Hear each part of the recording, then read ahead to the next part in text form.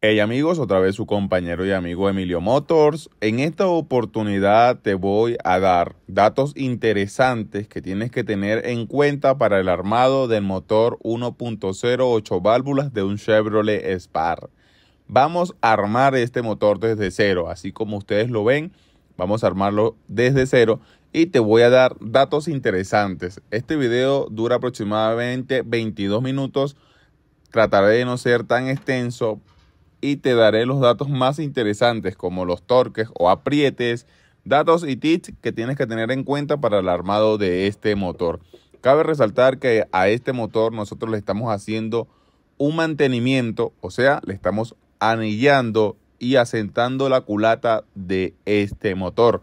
Ya ha llegado de la rectificadora, el cual le dieron el baño químico. Dicho esto, iniciemos. Cuando estamos instalando el cigüeñal nos vamos a encontrar con unas axiales o unas medialunas. Son muy importantes para que el cigüeñal no tenga mucho juego o mucho movimiento de adelante hacia atrás.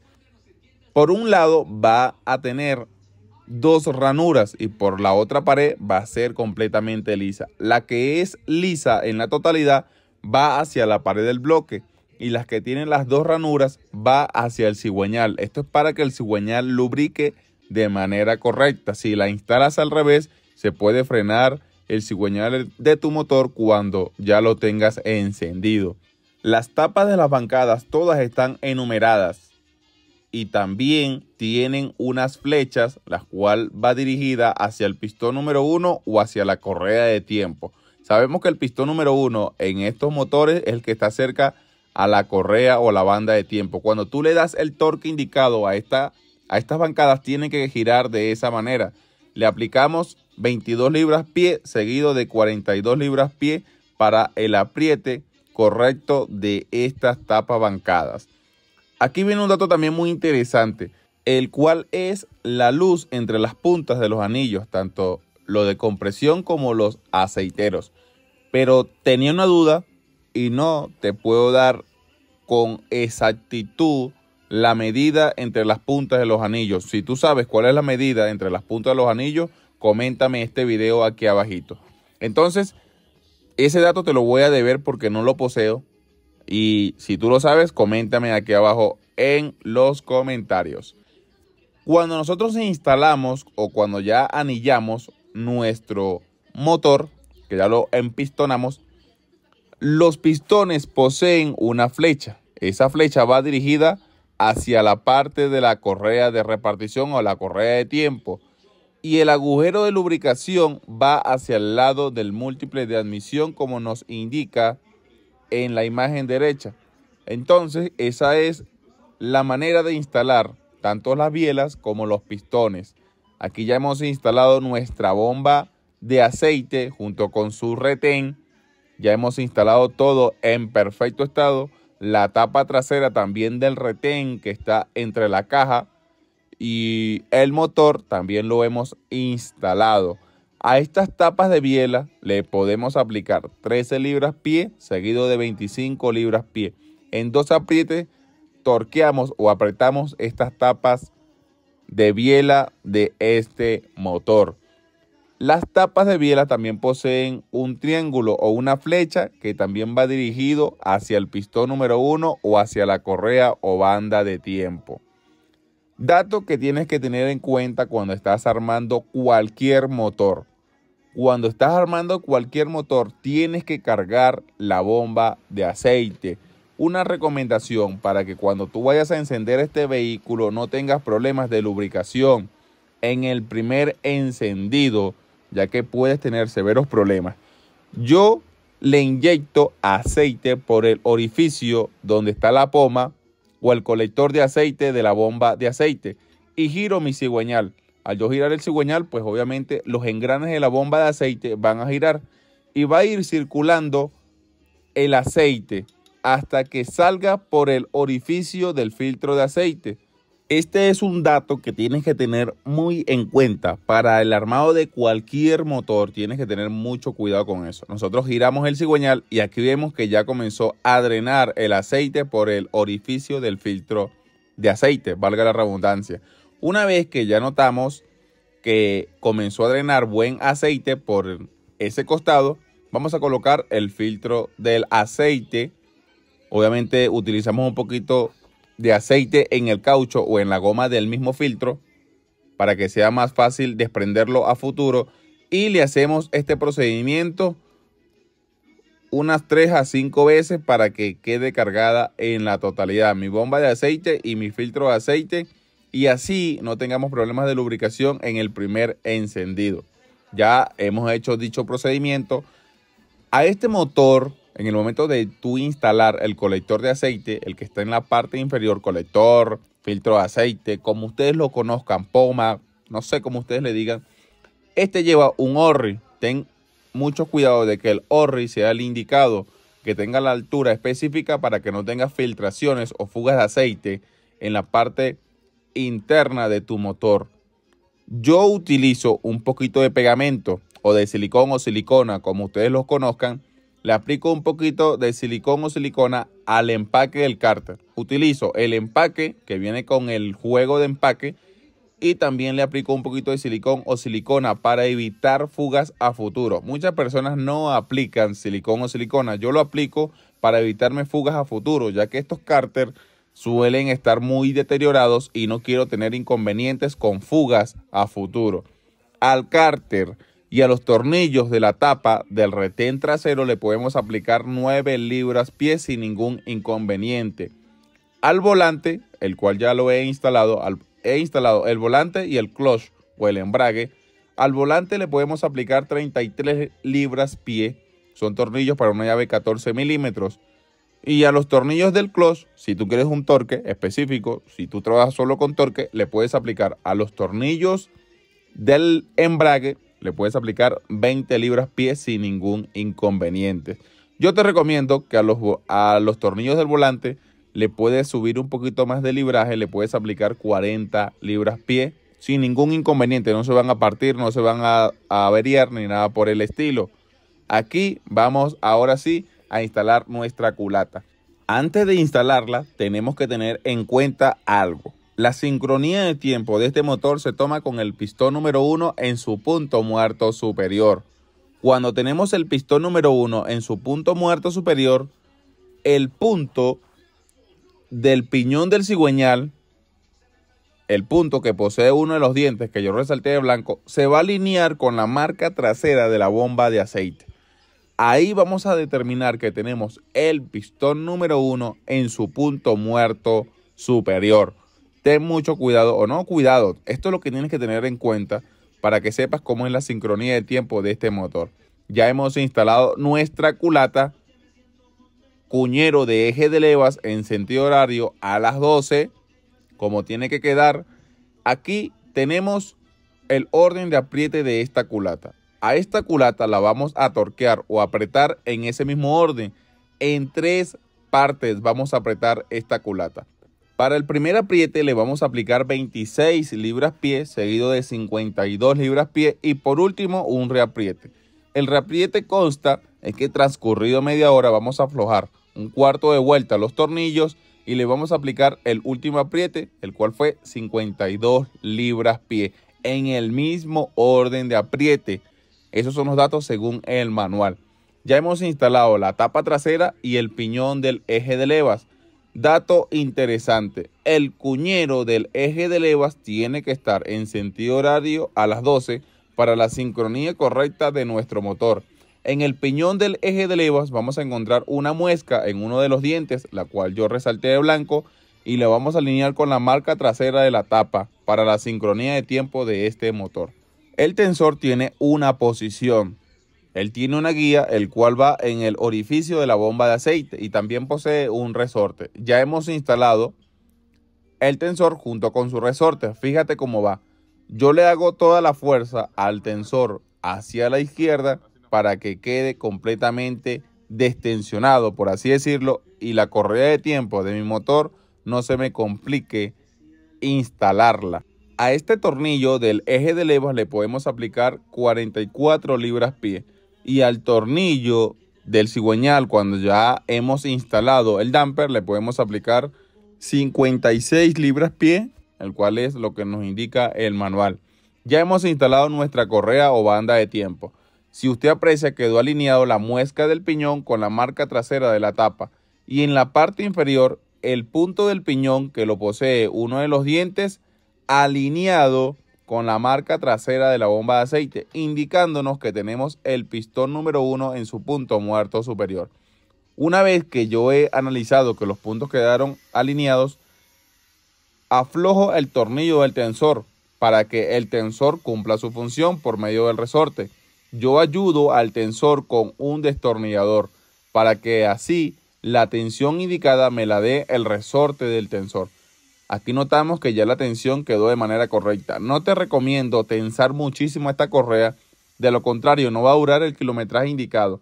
Y segundo, vas a tener un sonido de roce o de chillío por la parte de la correa de tiempo. Esto se debe a la fricción que se genera entre la correa y los piñones o deslizadores de esta correa de tiempo.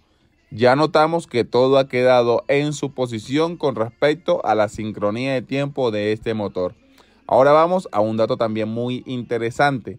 Cuando nosotros tenemos en tiempo nuestro motor, cuando tenemos en sincronía punto inferior y punto superior, vamos a calibrar las válvulas del primer pistón porque nuestro pistón número uno está en explosión en este mismo momento. Aquí tenemos en explosión nuestro primer pistón. ¿Cómo nosotros calibramos? La calibración es muy sencilla. Aflojar la tuerca 12 milímetros y vamos a ajustar el tornillo del martillito o del balancín con la cabeza de la válvula. Hay una medida estándar de calibración para las válvulas. Para admisión tendremos 0.25 milímetros y para escape 0.30 milímetros. Con unas láminas de calibración nosotros hacemos este procedimiento, pero te recuerdo que eso nos indica el manual. Si tu motor ya tiene mucho desgaste entre los balancines y el eje de levas, te recomiendo hacerlo manualmente, manualmente, para que no quede sonando en la parte superior el motor, debido a que si tiene desgaste no va a quedar completamente silencioso tu motor. Estas son medidas por el manual. Cuando yo giro el cigüeñal y el cuñero del eje de levas me queda en sentido horario, a las 3, el pistón número 3 subiría a su punto muerto superior, teniendo el, el tercer pistón en explosión. Entonces nosotros podemos calibrar las válvulas del tercer pistón o del tercer cilindro. Si yo vuelvo a girar el cigüeñal, yo giro el cigüeñal y coloco el cuñero del eje de levas en sentido horario a las 6, podemos calibrar las válvulas del cuarto pistón, ya que subiría a su punto muerto superior el cuarto pistón estaría en explosión en ese momento y podemos calibrar las válvulas del cuarto pistón. Cuñero de eje de levas en sentido horario a las 6, pistón.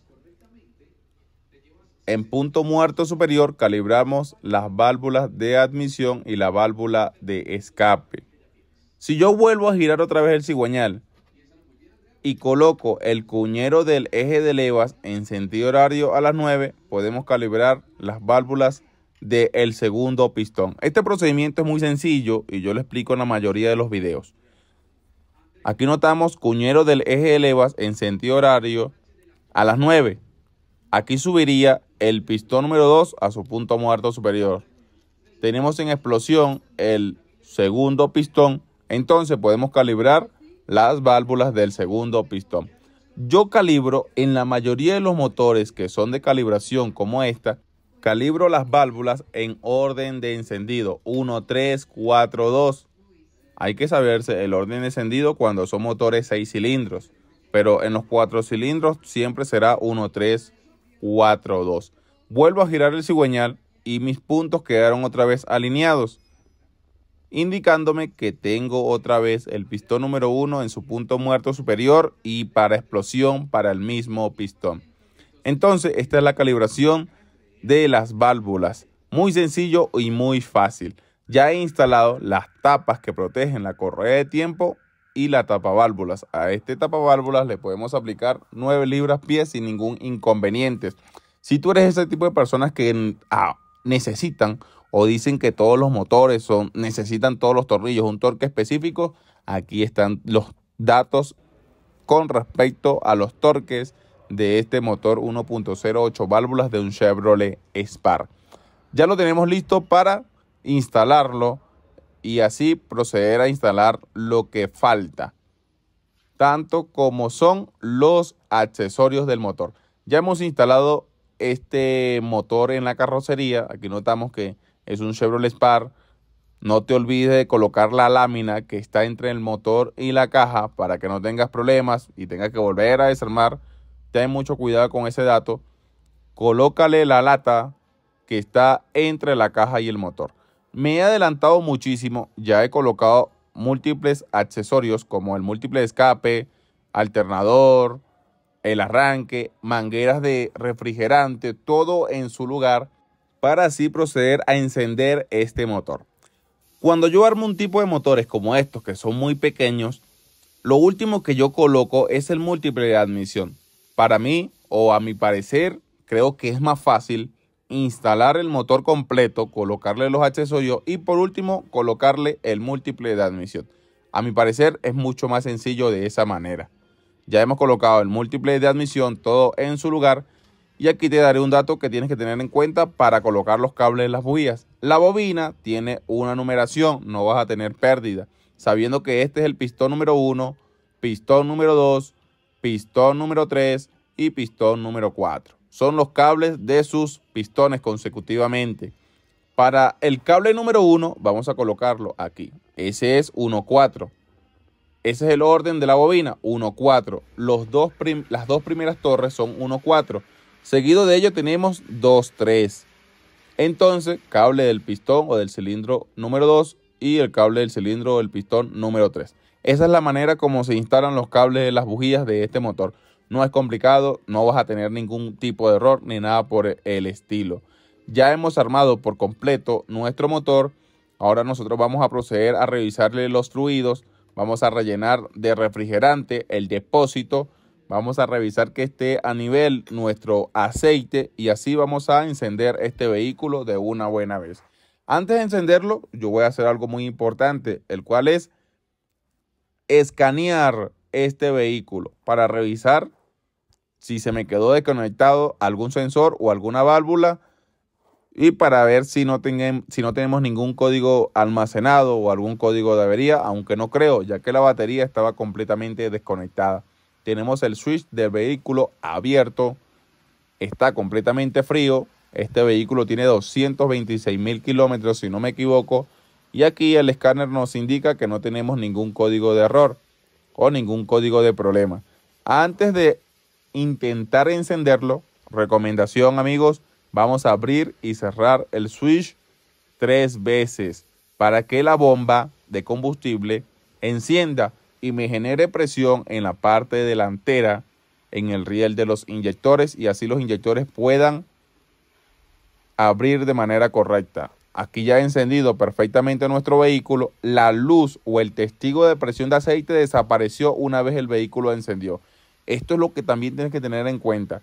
La luz o el testigo del aceite tiene que apagar una vez el vehículo encienda. Esto nos indica que nuestro motor lubricó de manera perfecta.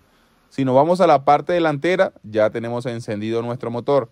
Yo purgo el sistema de enfriamiento de este motor de manera fácil y sencilla. Colocamos a nivel máximo nuestro refrigerante en el depósito, encendemos el vehículo.